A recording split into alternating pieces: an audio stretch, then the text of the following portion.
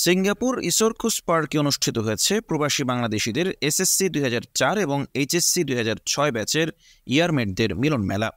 বিশেষ প্রতিনিধি শাহাদাত রাসেল চৌধুরীর রিপোর্টে বিস্তারিত। রবিবার সিঙ্গাপুরের ছুটির দিনে সিঙ্গাপুরে কর্মরত প্রবাসীদের উদ্যোগে এই মিলন মেলার অংশগ্রহণ করে প্রায় পঞ্চাশ জনেরও বেশি প্রবাসী বাংলাদেশি।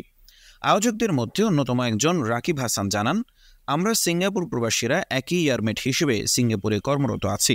আমাদের মধ্যে সুসম্পর্ক, ভ্রাতৃত্ববোধ এবং প্রবাস জীবনের একঘেয়েমি কাটিয়ে তুলে কিছু সময়ের জন্য নিজেদের আনন্দদান আমাদের অন্যতম লক্ষ্য উদ্দেশ্য। পাশাপাশি আমরা সিঙ্গাপুর প্রবাসী হিসেবে দেশের প্রতি আমাদের দায়িত্ব, কর্তব্য এবং আগামীতে স্মার্ট বাংলাদেশ বিনির্মাণে প্রবাসীদের ভূমিকা নিয়ে আলোচনা করি।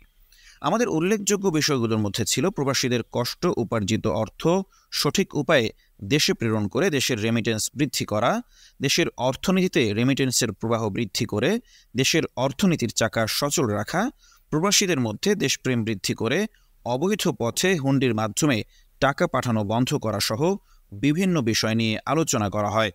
জমকারো এই মিলন মেলার মধ্যে আয়োজন করা হয় ফুটবল খেলার, বালিশ খেলা, বেলুন ফুলানো এবং সকলে মিলে দুপুরে খাওয়া দাওয়া আনন্দ উল্লাস করে দিনটিকে করে, স্মৃতিময়ে করে রাখা হয়।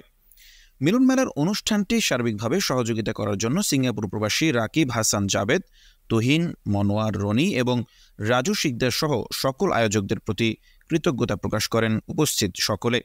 এমন আয়োজন আগামী দিনেও অব্যাহত থাকবে বলে জানান প্রবাসীরা। পরে সকল প্রবাসীদের অংশগ্রহণে নাচ গানের মধ্য দিয়ে শেষ হয় মিলন মেলা অনুষ্ঠান। News desk AB twenty four TV Italy